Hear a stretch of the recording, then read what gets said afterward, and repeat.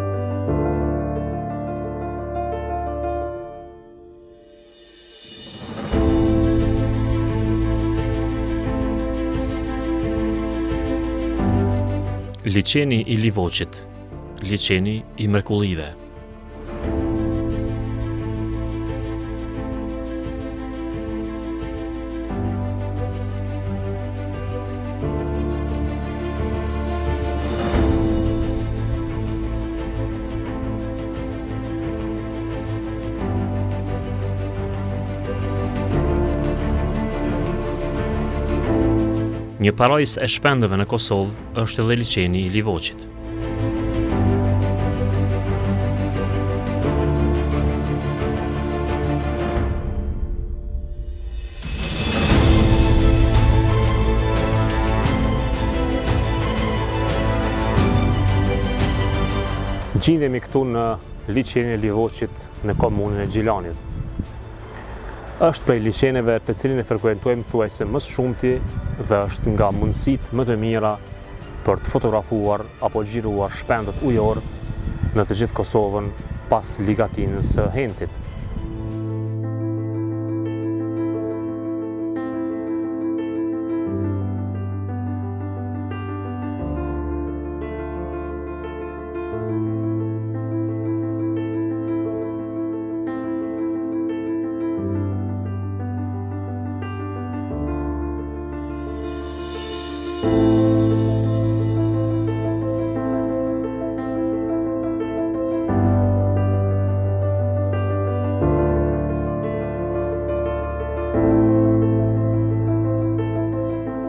Në këtë liqen ka shumë lloje të shpendve ujorë.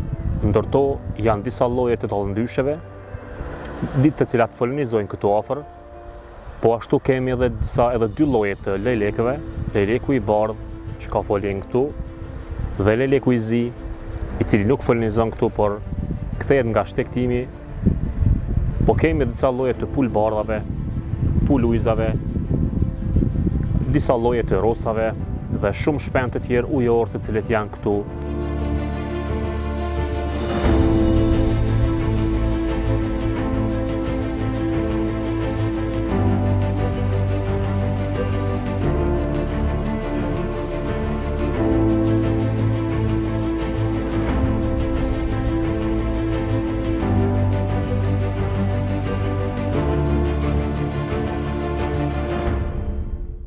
Ky habitat i mrekullueshëm i shpendëve shtegtarë jep mundësi që çdo vizitor të sheh lloje të shpendëve të cilët dhurojnë spektakle përpara syve të secilit e sidomos peshkatarët që janë aty thuajse çdo ditë.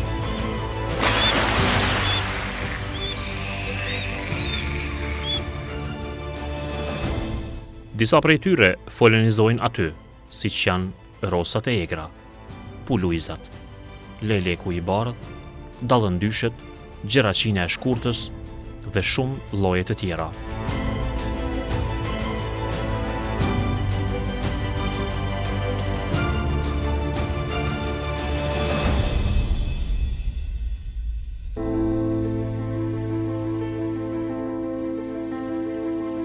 Ka edhe shumë lloje të insekteve të cilat janë të pranishëm në liqenin e Livoçit. Më së shumti shohim pilivesat, por edhe shumë lloje të fluturave.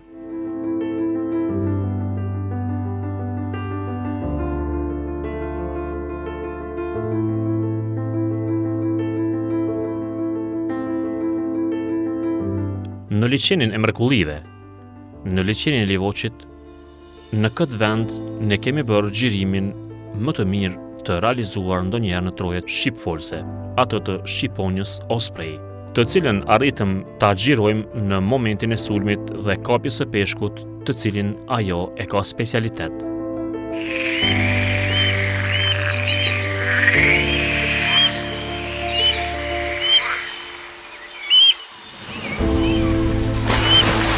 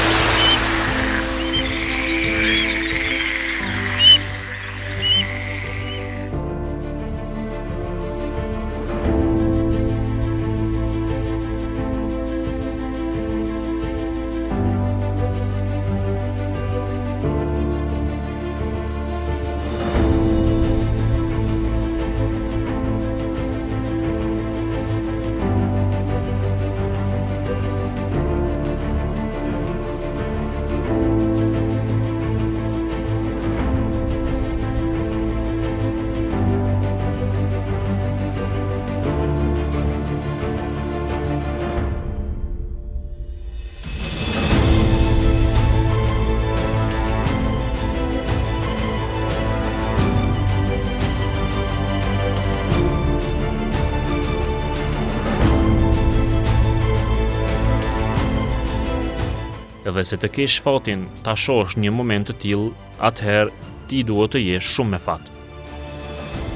Ajo shpesh dhuron spektakle në liqenin e Livoqit.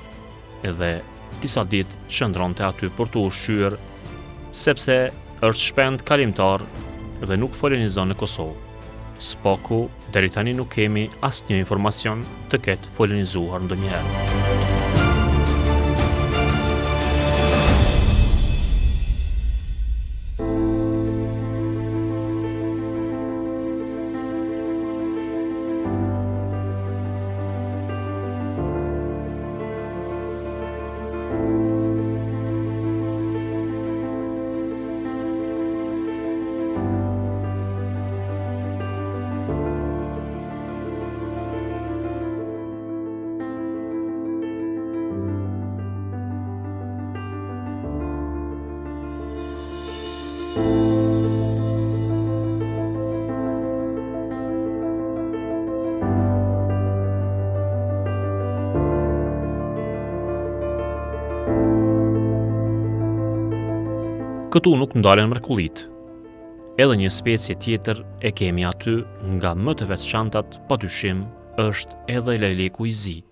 Ciconia nigra, i cili sillej mbi liqenin e Livoqit dhe priste momentin për të ateruar diku aty.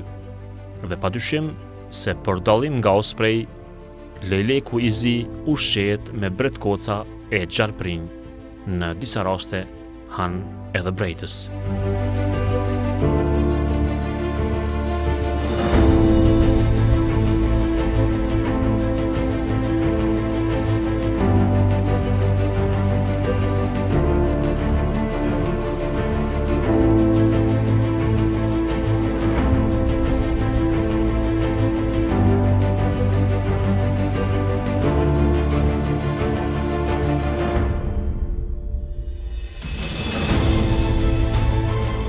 Por në çatinë e një shtëpie aty afër liqenit të Livoqit, folenizon një çift lejlekësh e që janë qysh nga viti 2010 aty, dhe u bënë tashmë mbi 10 vite që ata kthehen në të njëjtën fole.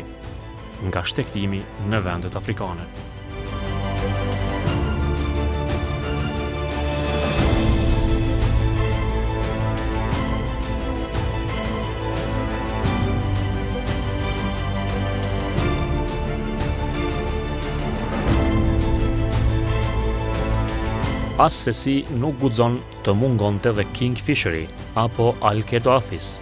Në shqip, ne e quajmë mbreti peshkatar.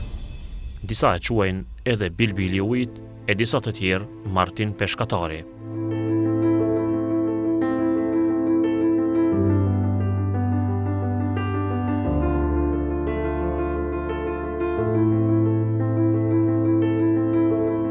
Një zog si ky që ka ngjyra të mahnitshme dhe që ka teknikë të hatashme të peshkimit e i cili është prezent në liqen dhe që shpesh tregon aftësitë e tij edhe para syve tanë.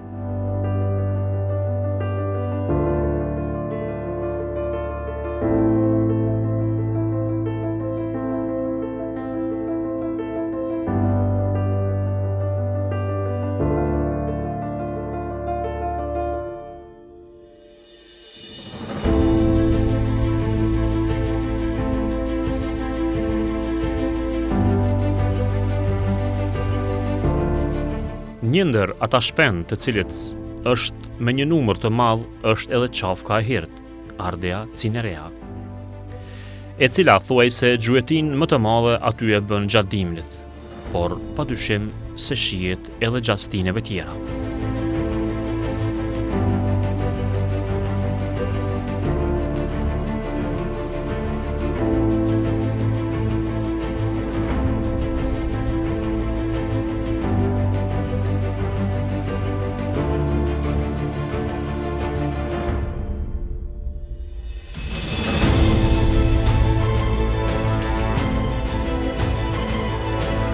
Rosat e egra janë banuese të përhershme aty dhe jetojnë bashkë me njerëz thuajse pa frikë dhe tashmë të mësuara të jenë shumë afër faktorit njeri.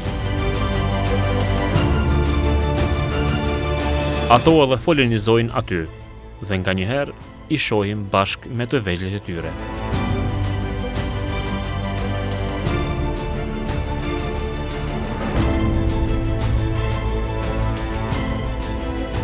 Bajzat me një numër jo të vogël po ashtu i gjejmë sa herë shkojmë aty. Janë të bukura dhe pjesë e faunës së bukur në liqenin e Livoqit.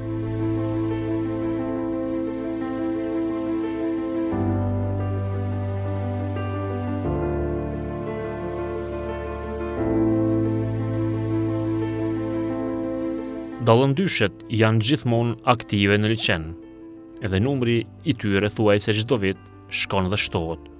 E kjo pa dyshim, se përbën një lajm të mirë për ekosistemet tona. Ato ushqehen me insekte përreth dhe gjithsesi se insektet përbëjnë ushqimin kryesor për të vegjëlit në folenë e tyre. Aty pamë se dallëndyshet bënin përgatitjet e fundit për shtegtim dhe pasi të pinë ujë Ato ndoshta bashkë fillojnë shtegtimin me mijëra kilometra drejt vendeve të Afrikës.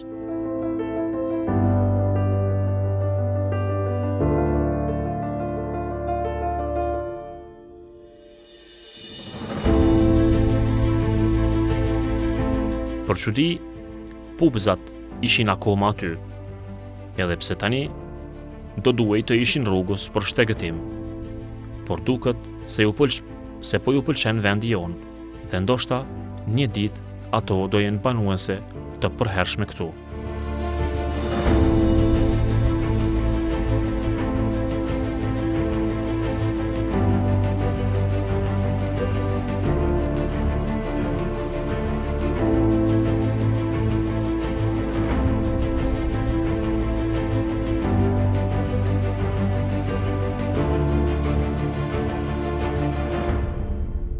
Me zemër të thyer e lamë këtë perlë të shpendëve ujorë me një pamje të tmerrshme si kjo. Ndoshta një ditë do të vetëdijsohemi të mos hudhim mbeturina aty ku nuk duhet.